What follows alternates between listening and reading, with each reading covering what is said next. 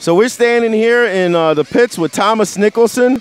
Um, he's sitting here chilling in the freezing cold, working on his car. I mean, it's like 56 degrees. Can you believe how cold it is, Thomas? It is freezing. I ain't used to this. I'm used to tropical weather.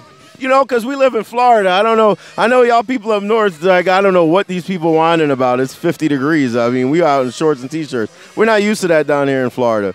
So Thomas, tell me, tell me what you're doing this race. Tell me what your plans are. Uh, kind of a little bit of a strategy without giving too much away to your competition here. Well, I plan on making A main. That's my plan.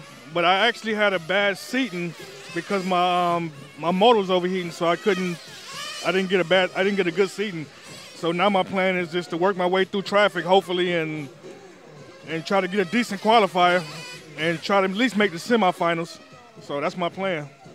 So listen, the seating round, of the way that they did it this year was was very very uh, um, fair. It was almost as if we had an extra day of racing, but it was uh, you know they they took an average of the top three laps. So what Thomas is referring to was you know the, his motor, you know the the weather yesterday and the humidity yesterday changed quite dramatically from you know morning till till evening and uh, it was really difficult to keep the motors running consistently. So you know, and when your motor's not right, your head's not right. When your head's not right, you're not consistent. That that's about sums it up, right?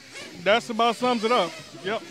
So so his plan is to to race through um, to the semis now you know, the way that it works here, because there's so many people, I think there's like 60 people or so in the 10 scale. He's got he's got his work cut out for him, so he's going to have to keep that receiver pack charged. Well, Thomas, listen, good luck. Um, you know, we're, we're tracking you. We know what numbers on your car. We're tracking you, so we'll be following you as the, the race weekend goes on. All right, good luck, Thomas.